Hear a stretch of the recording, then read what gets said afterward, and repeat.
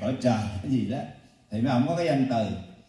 Ở trong đó những người đệ tử của gọi là ngũ đại truyền thừa mấy trăm năm của miền tây á, từ đức thầy khi giải bóng phai vị này vị nọ rồi tới qua tới bên cao đài cũng vậy đều là họ cầu cơ. Thì hôm nay đọc lại giới thiệu tất cả mà mỗi một chợ nó có những cái nhóm cơ khác đi nhiều lắm. Tại vì rất là đông vị. Hồn đi sông núi mà. Mỗi vị tạo ra một cái nhóm. Rồi mỗi vị dạy dạy dạy mỗi cái nhóm. Rồi từ đó, tất cả những gì đó đi qua mỹ tìm thì mà mình nãy mình nói vậy đó. Thì gom lại. Thì những cái bài đó, thì hôm nay kiệt nhặt lại được hết tất cả những gì đó. Từ đường cơ của ngài à, đệ tử trạng nhỏ nguyễn minh khiêm, cho tới à, ngài phan đình phụng cho tới ngày à, bồ tát thiết tịnh tới của đức thầy rồi tới những vị hùng như trong núi mấy ông vua nước mình ngày trận đạo. Đường cơ trà hoa của miền nam cho ly rất là thịnh hành của những năm về trước. Nhưng mà hôm nay à, à bác sắc với bác nhu là mấy bác giờ đang già đang nằm dưới miền nam Cao ly á. Rồi ở virginia rồi bên pháp nữa rồi bắc cali nữa. Thì tất cả đều là tù nhân chính trị của trại tù đó. Nhưng qua con ra hải ngoại những vị vẫn tiếp tục dạy dỗ dạy dỗ để có một ngày 6 triệu chim hiền đi về nước để lập hội Long Hoa để dựng lại một nước Việt mới để cho những cái ờ, người mà có liên hệ mà được uh, mang sứ mệnh không có bị nản chí.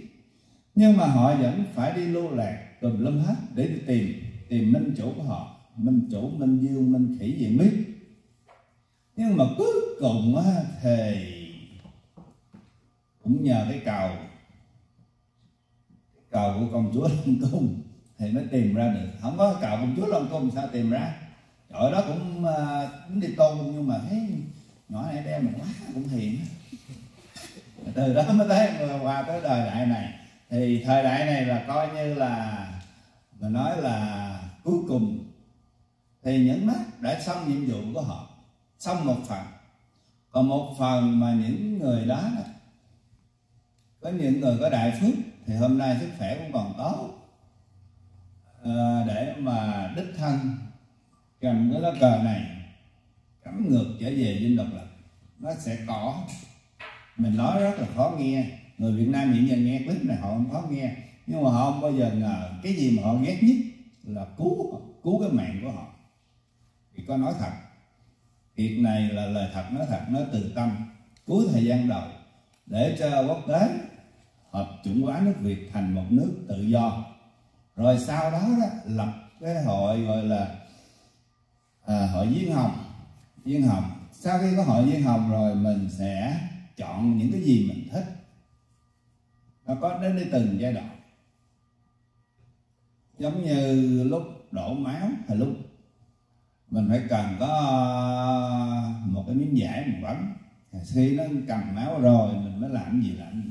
Thì khi nước Việt đang lúc loạn ly, mà muốn đưa sách triệu trinh Hiền về, thì phải nghĩ như thế nào? Cho nên mình đừng có trách nữa.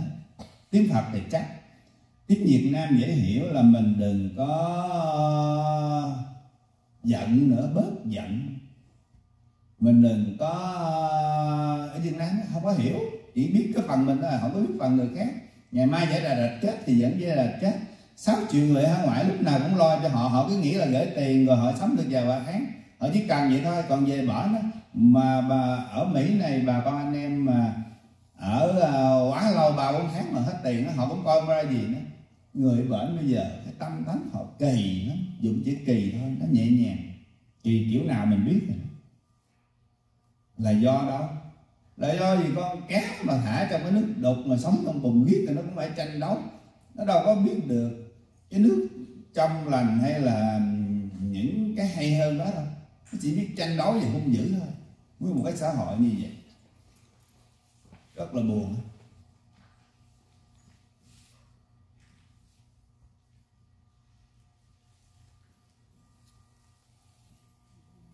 Mắt là mình, chọn mình à?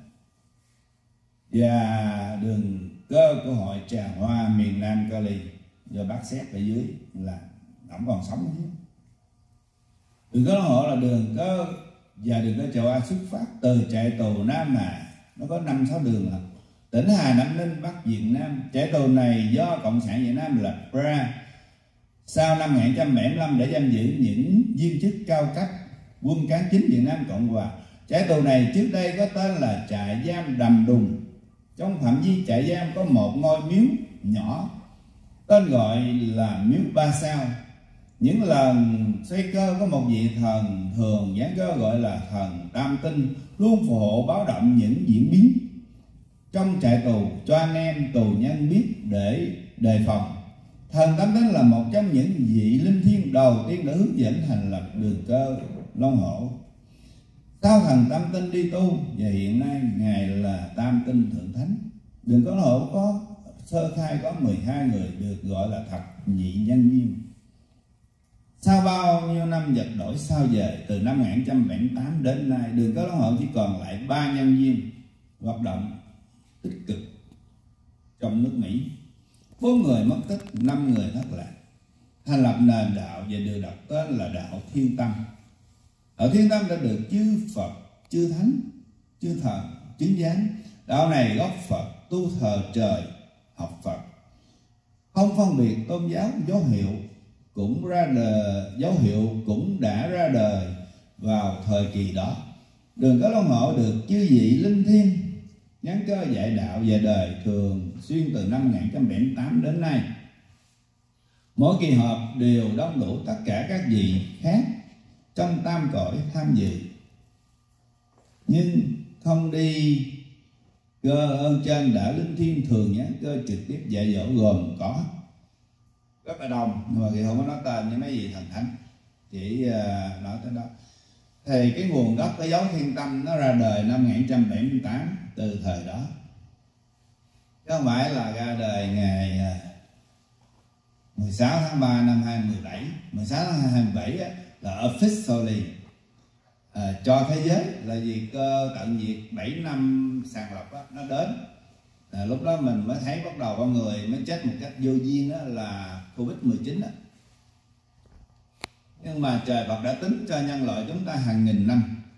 Không dư không thừa mà. Nếu mà dư thừa thì à, à, hôm nay à, chuyện đời đâu có những cái mình gọi là bất ngờ đâu nhìn xung quanh đi từ bệnh tật là chiến tranh là kinh tế nè. Những người giàu có mà ở Việt Nam á, chết chết khoảng 55 60 tuổi quá trời. Cái đó là gì họ họ ăn trên ngồi rồi họ quên đi tu quên đi cái đường quay về tâm linh. Nhân loại hôm nay á, chuyện này không xuất hiện ở nước Việt Nam thành thành đồ đồng đồ đá. Và có thể bị diệt chủng xóa sổ bản đồ trên thế giới bởi Trung Cộng. Trên nói như kiểu uh, Di Ngô Nhĩ. Nó bắt mấy thanh niên đi là mổ gục mổ rang không cần chích thuốc tê la hét âm sầm lên. Rồi xong mới dùng cái xác bên có mấy cái video đó. Để đem ra chừng 10 triệu uh, thằng vả vả của trung cộng vô ở lai giống chừng 5 năm sau đi bầu cử cái xong. Nó đổi tên là nam việt. Giống như là à, nó lấy hoàng sa mình đổi thành nam sa. Vậy yeah, à, như đồ chơi vậy. Nhưng mà khi chúng ta là con vua thần long, con rồng cháu tiên, ngày xưa cũng là thiên tử xuống để tạo ra cái nồi, cái ờ, dòng giống người việt. Ngày xưa cũng là một công chúa của long dương lên trên là rồng, công chúa là tiên. Cho nên dân tộc chúng ta có, mới có cái truyền thuyết là 50 con đi theo cha về núi, thì núi nghĩa là về trời. 50 con đi theo mẹ xuống biển. Mẹ xuống biển. Thì cho nên giàu cho chúng ta bị nghiệp kiểu nào? Bác hồ à, là đại anh hùng của nước việt nam có xã nghiệp kiểu nào? Thì cuối cùng nước việt cũng sẽ thành một cường quốc trong tương lai. Sớm muộn những cái thế hệ sau nước việt á nó sẽ rất là trân trọng những cái lời vàng học này Kiệt nói. Những cái lời này nói cho 18 tới 45 tuổi, đó là cột trụ của nước Việt, ở trong nước Việt. Còn sáu chuyện chim hiền cũng quan trọng trắc sáng nhưng mà trắc sáng số lượng ít hơn số đông. Đó là lý do tại sao việc này phải làm cái mối hàng hàng hai bên đúng không? Hàng ở trong quốc nội hàng ngoại đúng không? Hàng HO với hàng đảng viên đúng không? Hàng láng hàng chữ dính là hết. Và đồng thời bắt đầu hôm nay nói lên những tiếng nói sự thật. Kim cương nằm dùng rồi à, phá nát cộng đồng làm xíu cộng đồng à, cầm cờ vàng ba sọc đỏ chửi đàm vĩnh hưng lãnh lương của bác trọng dẹp hết đi chuyện xưa như trái đất rồi chuyện đồ chơi của con nít ai cũng biết chuyện này là, là mưu mô. Mục đích là đảng cộng sản giữ số đông để mà ghét hải ngoại để đừng có đoàn kết. Đó là không phải là đảng cộng sản đó là đảng cộng sản trung cộng. Ra lệnh đảng cộng sản việt nam làm những cái chuyện đó cho dân tộc mình cấu xé lẫn nhau. Cho nên đó, mấy ổng cũng là bị bắt phải làm nếu mà con nghĩ xa xa mà hôm nay cái gông cùng của trung cộng sắp sửa bị đứt. Thì nó đứt trước, hiện giờ là đấu đá với nhau quá trời thì lúc đó, chiếc xuồng con, chiếc xà lan đã chìm rồi thầy thấy nước chìm thì mấy chiếc xuồng còn sống thôi. Tuy là không có dầm, không có mái nhưng mà bê vậy sống. Thì như thầy thế đấy kẻ tu đang đồn. Hệ tù này thời pháp nổi tiếng khắc nghiệt. Tọa lạc trong một hốc núi đá voi hiểm trở bao quanh. Phía trước là một bãi đầm lầy bao quanh bằng một dãy núi đá voi. À, hiểm trở trại cũng từng nhốt các chiến sĩ biệt kích Việt Nam Cộng Hòa bị bắt khi xâm nhập à, miền Bắc. Sau này Việt Cộng đổi tên là trại Đầm Đùng thành trại Nam Hà chạy gồm bốn phân chạy A chạy B chạy C và chạy Mễ ủa, bởi sao phải chạy Mễ chúng tôi bị nhốt ở trại A trại A gồm các dân biểu, nghị sĩ, viên chức, hành chánh cảnh sát, quân đội, đảng phái và tình báo cao cấp. Là mấy ông cao cấp. Thì mấy ông cao cấp mới được ở bề trên chiếu cố thì từ đó mới ra tới ngày hôm nay mỗi thành phần bị nhốt vào phòng riêng biệt. Công việc hàng ngày của một tù nhân biệt xứ là giác đá, xây nhà, trồi đá và giác cày ruộng, canh tác vào rừng. Làm việc nặng nhọc, đói ăn, tinh thần suy sụp, bệnh tật bắt đầu hoành hành vì suy dinh dưỡng. Thiếu thuốc men, tin tức cha mẹ, vợ con không biết tương lai dẫn nước đi về đâu không biết. Tấm thân tù tội ngày à, càng ngày mòn sơ sát trong hoàn cảnh bi đát đó anh em tù chỉ còn biết tin tưởng vào đấng thiên liêng.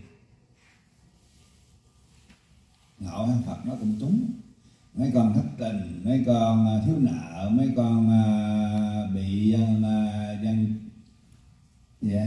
Yeah. Dạ, cả cái người quýnh bại rồi đi dây là dây lãi à, cao mà để quýnh bại mà đến lúc mà dân chơi đứng trước cửa cũng khấn thật nữa. Thì mấy ông tù nhân này cũng vậy. Vô trong tù lúc mà, bà, cuối cùng của cái cuối cùng là điều là kiếm cha kiếm mẹ trời ôi Phật ơi Chúa ơi luôn. Vậy lúc mình đang mạnh khỏe nè cái núi đó, có đầy đủ luôn. Trời Phật Chúa gì trên đó. Sống lên là đốt nhang đi để có chuyện rồi mới lên mà trong đó mà thiên mấy người lớn tuổi dù cũng thấy. Lúc mình còn mạnh khỏe, mình làm bề trên mới chính cái lòng thành của mình. Thật tâm hay không thật tâm á chỗ đó. Để có nạn rồi mới tới thôi. Mà cũng được, có hơn không? Chỉ còn tin tưởng và đấng thiên liêng, hồn thiên sông núi, tổ tiên soi đường một số anh em tín ngưỡng cao đài phật giáo hòa hảo. Ờ, không có nói chữ hòa hảo đang nghe mấy gì cộng nó nghe nó ghét lắm. Tại mấy cái núi bữa giờ nổ hai lần còn tiếng nổ cuối cùng nữa vậy mà không có đài nào nói. Tại vì sợ đức thầy còn hơn là sợ ma nữa. Nên tổ chức bí mật cầu cơ ơn trên đã không phụ lòng. Cầu khẩn của anh em tù chúng tôi. Chứ gì đã làm lượt gián trần buồn một buồn hai, nhốt các đại tá và hành chánh cao cấp. Có cụ tùng la phan đình phùng về ứng cơ. Lần gián đầu tiên, giờ đêm 12 tháng 12 năm 1979 cụ cho bài thơ chữ Hán. Trì trì bộ bộ bộ trì trì cũ bộ, thời lai hữu hỷ kỳ. Nguyên phụ cao bồi tư quá dục thân phân thiên tải tụng hòa di. Và tiếp là một bài thơ có chữ nam mai vàng rộ nở trời xuân câu thơ chung rượu được phần chung vui. Trên bàn cờ tới lui xe ngựa. Vĩnh cung đàn họ sự sàn xê rượu phơi đầy mới tỉnh tỉnh mê, thi liêu láng biết ai ai biết. Rượu một bầu thấy một điều. Mượn rượu này đánh liệu cuộc cờ chơi. Còn non, còn nước, còn trời, còn trăng, còn gió, còn người hôm nay. Tức là mấy vị cứ khuyên những mấy ông cấp bự cứ nghĩ là cứ an tâm, đừng có sợ, đừng có gì. Còn trăng, còn nước, còn trời, còn là còn mây còn gió là con người hôm nay. Y chang qua mỹ một cái là giàu có cái quên mấy gì hết. Bữa hỏi mấy gì về trách ấy. bởi vì nãy có năm ông thất lạc trong 12 người. Mà ngày xưa ờ, bề trên chọn để mà đi tìm minh chủ của họ. Tại vì khi người nhân thật đi về, tả hữu phải phò trì, cây cỏ mới thành binh được. Có nghĩa là ô cũng phải phò trì, đảng viên cũng phải phò trì, chống cộng cũng phải phò trì cánh ô cũng phải hồi trì. Kim cương cũng phải hồi trì. À, hang đây là cỡ như uh, cái gì à, cái, cái, cái ông diện hùng hùng gì đó. Với là mình quân cũng phải hồi trì nữa. Mấy cộng gì cờ mấy thằng mà mà mà, mình cộng nằm dục cũng phải phò trì luôn. Tức là mình thành một không có không có hận thù nữa. Thì lúc đó mới có nước việt mới.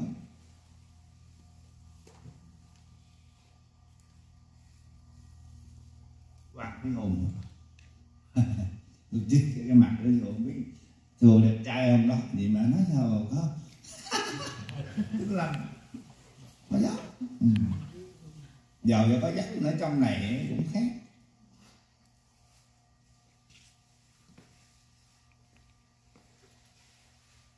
Còn trăng, còn gió, còn người hôm nay cụ giải thích nhân hữu thiện nguyện, thiên tất, tùng dư cụ đến với anh em là do thiên ý. Ý bề trên. Chứ không phải ngẫu hứng đến để an ủi và động viên tinh thần anh em. Sau lần giảng cái cụ thường giảng trần đôi ba đêm một lần để an ủi và động viên tinh thần anh em cũng như soi sáng tương lai cho anh em vững lòng tin. Vinh quang biết mấy ở ngày mai cay đắng gian lao dạ dám nại. Nuôi chiếc phục hùng, chờ giận hỏi. Tan bồng là nợ kẻ làm trai. Hoặc câu, mây tạnh mù tan trời lạng sáng. Ngày mai đất nước sẽ huy hoàng. Cũng có câu, rạng rỡ ngày mai đầy hứa hẹn. Non sông chờ đón kẻ tài trai. Và còn nhiều nữa còn những lời tuyên đoán đầy kích lợi về nước mai sau. Buồn ba chúng tôi nhốt các tá thuộc bộ tổng tư lệnh uh, cảnh sát quốc gia Việt Nam Cộng Hòa dân biểu nghị sĩ. Buồn này có hai đàn cơ là Bồ Tát Nhất Tịnh và cụ trạng nhỏ học trò của cụ trạng trình Nguyễn Minh Khiêm. Đường có Long Hổ. Của cụ trạng nhỏ, cụ cụ trạng dán cơ vào khoảng cuối năm 1978 đến đầu năm 1979 trời cuối đông ở miền Bắc dùng núi non thật là rét bút áo quần chăn chiếu không đủ ấm, cho nên cái lạnh nó hành xác, lại thêm cái đói hành hạ. Cho nên cái lạnh đó hành sát tù nhân thật là khủng khiếp. Anh em nằm co ro mà nghe bao tử kêu rào rào ột ột thương tình nhớ người, thân cha, nhớ vợ, nhớ con. Nhớ con đường, nhớ hàng xóm. Không khóc mà nước mắt cứ trào ra út nghẹn. Trong tình cảnh này cụ trẻ nhỏ đã giáng cơ một lần tàu cơ nhân lúc ấy là anh Nguyễn Biên thiếu tá khóa 15 trường võ bị quốc gia Việt Nam và anh Phan Quang nghiệp thiếu tá cảnh sát đặc biệt thuộc Bộ Tổng Tư lệnh Cảnh sát Quốc gia Việt Nam Cộng Hòa. Cụ trạng nhỏ dáng cơ tự xưng là học trò của của, của cụ trạng trình Nguyễn Minh Kim Cụ dùng những lời an ủi thiết tha chiều mến như người mẹ ru con đang hoàng ngoại trong khổ đau. Cũng nhờ cụ trạng nhỏ nhắn cho nhiều lần, cho lời kích lệ tinh thần bạn nhỏ. Nói chung, cũng vơi đi phần nào nỗi đớn đau ngoài những lời ru im đềm, cụ còn đi mời những nhân vật nổi tiếng đã mất đến nói chuyện với chúng tôi trong một lần nhắn ca sau những lời đượm tình nghĩa như cha con cụ nói. Để ta vào trong nam, mời một cô ca sĩ ra hát cho các ngươi nghe. Khoảng độ một phút sau cơ chạy. Chào các anh. Em là thanh nga đây. Thật ngỡ ngàng, chúng tôi vấn đáp với thanh nga. Thì mới biết cô là ca sĩ kiêm diễn viên của đoàn hát thanh minh thanh nghe ở sài gòn. Trước đây sau năm 1975 cô vẫn tiếp tục sống cuộc đời của một diễn viên sân khấu. Vài năm sau năm 1978 Cô bị giết. Hỏi qua biến cố này Cô chỉ nức nở Rưng nức nở Cơ chạy ờ, nức nhích nức nhích là khóc. Và chỉ nhích lên nhích xuống. Thôi không nói chuyện buồn nữa. Để Thanh nghe hát cho các uh, anh nghe. Coi chạy tiếp. Gió đêm nay lạnh cho lòng em thêm nát tan. Thương anh trốn lao tù bao năm tháng đỏ đại còn dân trong ngóng bóng anh yêu, ước mong xâm hợp. Giữa lòng quê hương vẻ vang, thì cơ chạy ra những chữ đó. Nhưng bây giờ mình là bắt trước thanh nga mình ca đó phải cổ ca. Cái nước đi.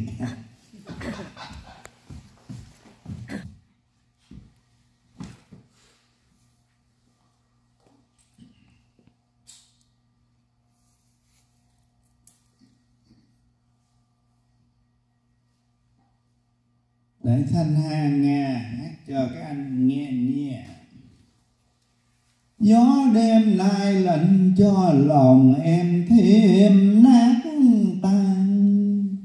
thương anh trốn lao tù, bao năm tháng đỏ đài. Còn vẫn trong ngóng bóng anh yêu. Ước mong sum hợp giữa lòng quê hương vẻ vang tạm được không mình đâu phải là ca sĩ. Nhưng mà cái này á các ờ, các quý vị phải hiểu. Sống sao chết y vậy? Kinh thật đó nói. Đang là ca sĩ đang biết cái chuyện đó chắc là cũng dẫn đức ca như thường. Thì đó là những lời nãy giờ đọc đó là rất là real sự thật. Cho nên đến nào hôm nay mà đọc kinh á, thì qua bản là chỉ có tiên nước đi thôi. Trời ơi trả tập cho tôi nghe tôi ở dưới này bữa giờ tôi nghe vô đọc nhiều quá giống kiểu má con kinh vậy đó. Giờ khóa xuống nghe đọc kinh đó nên anh ca, thanh nga ca các bạn đó. Trời lúc đó mấy hát, ồ, già đó. Ông cứ, trời, thế kỷ 20 mà tưởng chừng như thời trung cổ còn gánh thân người và nửa cổ thai trong. Ở trong cầu thì vậy thôi gánh con người đi. Rồi qua đây, ăn tiền có Obama Nixon bây giờ tới ăn tiền Biden. Khỏe quá.